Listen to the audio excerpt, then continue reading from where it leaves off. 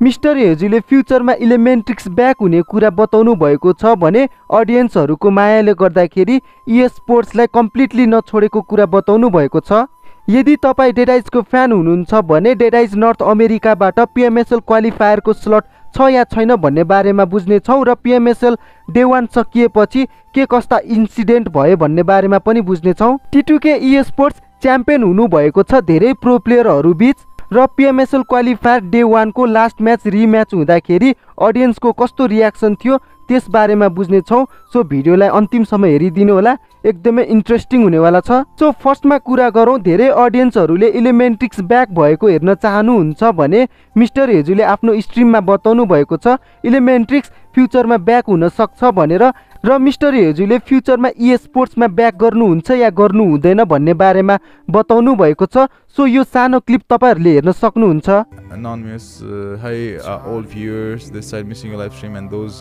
Songs by you. We have. Uh, where have you been nowadays and any plans for continuing Elementrix? Elementrix, uh, yeah, plan छ होइन plan अब त्यस्तो म अहिले भन्दिनँ त्यो पछि आफै थाहा पाउनुहुन्छ तपाईँहरूले चाहिँ प्लान छ नहुने it's not like completely gone भएको होइन यस एलिमेन्ट्रिक्स विल बी अब केमा ब्याक हुन्छ कहिले ब्याक हुन्छ म केही ग्यारेन्टी लिन सक्दैन बट डेफिनेटली अलिकति uh, हुन्छ नि अब सबैको रेस्पोन्स देखेर पनि एकदमै माया लाग्यो भनौँ न मलाई चाहिँ एकदमै माया लाग्यो सो कुनै न कुनै दिन ब्याक हुन्छु त्यति म भन्दैछु।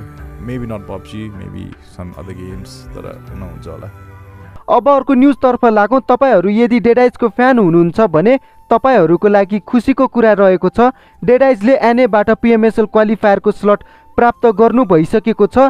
यो कुरा मलाई दि सिफु सरले बताउनु भएको थियो। अब उहाँहरू पिएमएसएल क्वालिफायरको लागि रेडी हुँदै हुनुहुन्छ र दि सिफु सरले हामी अडियन्सलाई एनएको पिएमएसएल क्वालिफायर कहिले हुँदैछ भन्ने बारेमा जानकारी दिँदै हुनुहुन्छ। सो उहाँले के के भन्नुभएको छ भनेर तपाईँहरूले यो सानो क्लिप हेर्न सक्नुहुनेछ। यताको क्वालिफायर्स हाम्रो अ, अझ कति बिस भनेपछि नौ दिन पछाडि थियो हुनुपर्ने हो खासमा। तर डेट सरेछ हौ यताको चाहिँ। अब अर्को न्युजतर्फ लागो पिएमएसएल क्वालिफायर डे वानको ओभरअल ऱ्याङ्किङ तपाईँहरूले आफ्नो स्क्रिनमा देख्न सक्नुहुनेछ। ह्यासट्याग वानमा देख्न सक्नुहुनेछ वानमा रहनु भएको छ यति रेन्ज सो म नेपाली टिमको मात्रै हेर्नेछु। टूमा रहनु भएको छ कर्मा अफिसियल थ्रीमा डेभिल एक्स ड्राइगन फोरमा होरो स्पोर्ट्स फाइभमा एड्रोइड फिफ्टी वान सिक्समा टिटुके इए स्पोर्ट्स सेभेनमा ट्राइब एरमेसी रहनु भएको छ भने अर्को पेजमा जाउँ। अर्को पेजमा देख्न सक्नुहुनेछ इलेभेनमा सेभेन सेभेन इए स्पोर्ट्स फोर्टिनमा र इए स्पोर्ट्स फिफ्टिनमा अन्डर ग्याङ स्लेयर सेभेन्टिनमा इलिमिनेट क्र्यु एट्टिनमा ड्रिम टु डेस्टिनेसन रहनु भएको छ। र लास्ट पेजमा हामीले देख्न सक्छौँ ट्वेन्टी सिक्समा रहनु भएको छ डेडाइज गाइज ट्वेन्टी सेभेनमा लियो इए स्पोर्ट्स र ट्वेन्टी एटमा हाई भोल्टेज इए स्पोर्ट्स रहनु भएको छ र पिएमएसएल क्वालिफायर डे वानको चिकन डिनरको कुरा गर्ने हो भने म्याचको पहिलो सुरुवातमै कर्मा अफिसियलले चिकन डिनर गरेर म्याचको सुरुवात गर्नुभएको थियो भने दोस्रोमा ट्राइब एरोमेसी तेस्रोमा डेभिल एक्स ड्रागन चौथोमा यति रेन्ज पाँचौँमा मेगा ब्लेज इए स्पोर्ट्स छैटौँमा होरो स्पोर्ट्सले चिकन डिनर गरेर म्याचको अन्त्य गर्नुभएको थियो। यसरी नै पिएमएसएल क्वालिफायर डे वानको अन्तिम म्याच फेरि एकपटक रिम्याच भएको थियो। रिम्याच नहुनुभन्दा अगाडि हाम्रो होरो स्पोर्ट्सका एकजना प्लेयर नक फिनिस्ड हुनुभएको थियो एन्ड आफ्टर कुनै कारणवश लास्ट म्याच रिम्याच हुन पुगेको थियो यही कुरालाई लिएर एकजना अडियन्सले होरो स्पोर्ट्सले अन्तिम म्याचमा चिकन डिनर गर्नुभयो भनेर सिआर सेभेन होरो दाईको लाइभ स्ट्रिमको च्याटमा रिसाउनुहुन्छ एन्ड सिआर सेभेन होरो दाईले त्यो अडियन्सलाई के रिप्लाई दिनुभयो भनेर हजुरहरूले यो सानो क्लिप हेर्न सक्नुहुन्छ। एडो रिम्याच गरेर रिम्याच गरेर के भन्दा यार जुटी नेपाली टिमले खायो त यार। के गर्नु भन्नु त? कसले खानुपर्ने थियो र चिकन ग्याङ्स्टर जुटी। कि हामी मर्दाखेरि हामी मरेर एकजना मरेको थियो रिम्याच गऱ्यो भनेर। त्यस्तो टेन्सन भएको यार। त्यसरी टेन्सन नलिनु न यार जुटी।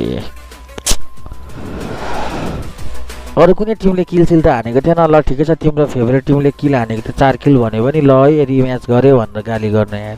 हाम्रै मात्र मरेको थियो एकजना। अनि हामीले चिकन डिनर खाँदाखेरि यस्तो तिमीलाई डा लागेको? के भएर यार त्यस्तो?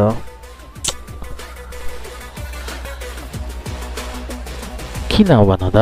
किन? त्यस्तो किन?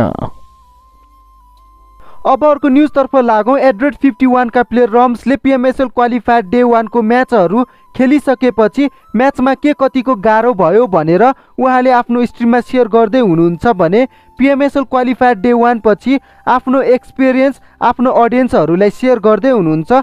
सो उहाँले के के भन्नुभयो भनेर तपाईँहरूले यो सानो क्लिप हेर्न सक्नुहुनेछ? ए फिफ्टी आफ्नै नर्मल गेम प्ले खेल्दा हुन्छ।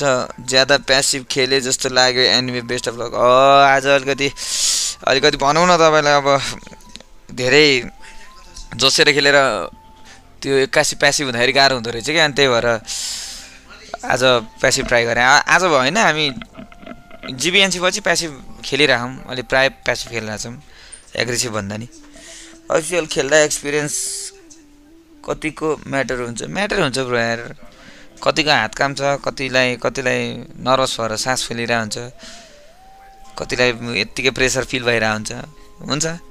जति एक्सपिरियन्स भयो त्यति चिल हुन्छ गेमले यदि तपाईँहरूलाई iPhone splitter type C splitter earphone headset gaming gadget सस्तो प्राइसमा चाहिरहेको छ भने जुपिटर डट एनपीबाट लिन सक्नुहुन्छ र RS zero one code use गर्नुभयो भने फिफ्टिन पर्सेन्ट डिस्काउन्ट पाउनुहुनेछ। इन्स्टाग्राम लिङ्क तल डिस्क्रिप्सन र कमेन्टमा पिन गरेको छु। गएर अर्डर गर्न सक्नुहुन्छ। अब अर्को न्युजतर्फ लाग्यो दि सिपु सरले अन्डरडक्स टिमहरूमाथि रियाक्ट गर्नुभएको छ र उहाँले अन्डरडक्स टिमहरूलाई चाहिँ कसरी हेर्नु भएको छ भनेर तपाईँहरूले यो सानो क्लिप हेर्न सक्नुहुनेछ। अहिलेको अन्डरडक्सहरू आमामा ए फिफ्टी वान भयो अन्डरडक्स नै भयो होइन? डिएक्सटी अन्डरडक्स भयो। अनि अर्को को छ? जस उनीहरू त राम्रो राम्रो जस आएछ राम्रो राम्रो टिमहरू अहिले। खुसी लाग्छ यार।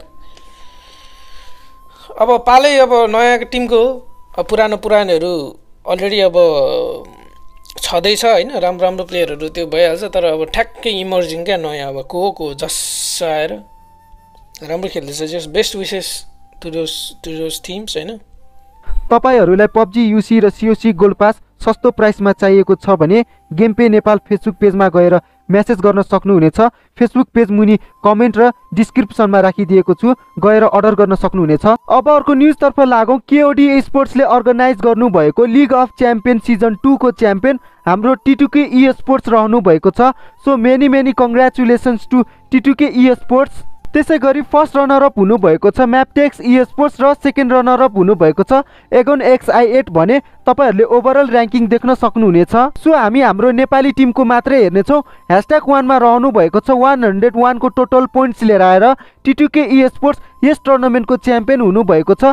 त्यसै गरी फोमा देख्न सक्छौँ हाम्रो डिआरएस गेमिङ रहनु भएको छ। त्यसै गरी हामीले अर्को पेजमा देख्न सक्छौँ। ह्यासट्याग इलेभेनमा रहनु भएको छ डेडाइज गाइज टुवेल्भमा रहनु भएको छ। लियो ए स्पोर्ट्स। सो तपाईँहरूलाई यो टेबल हेर्न मन लाग्यो भने भिडियोलाई पज गरेर हेर्नुहोला। क कसको कतिको टोटल पोइन्ट्स छ भनेर। अब अर्को न्युजतर्फ लागौ। वान गेम ई स्पोर्ट्सले अर्गनाइज गर्नुभएको इन्भिटेसनल सोडाउन हिजो फेब्रुअरी एक्काइस तारिकदेखि मार्च एक तारिकसम्म हुन गइरहेको छ।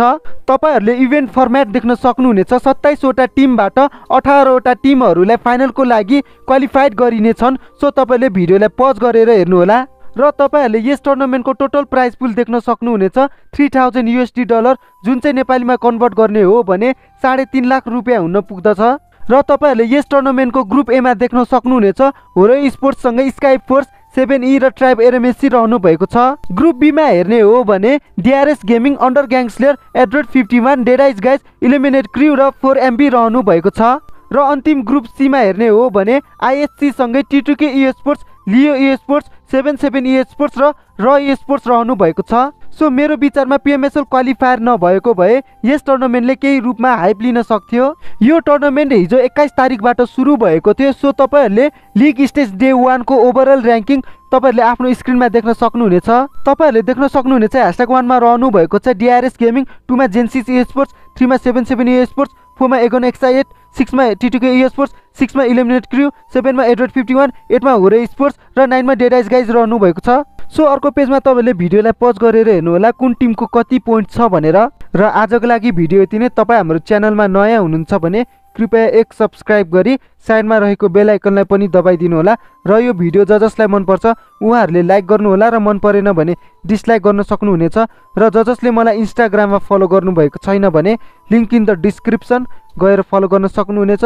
र यति भन्दै म पनि बिदा हुन चाहन्छु। सी इन नेक्स्ट भिडियो ल आरएस नेपाली ब्रोलाई सबले सब्सक्राइब गर गाइजहरू। आरएस नेपाललाई सब्सक्राइब गरिदिनुहोस् है। त आरएस प्लिज ब्रोलाई सब्सक्राइब गरिदिनु है।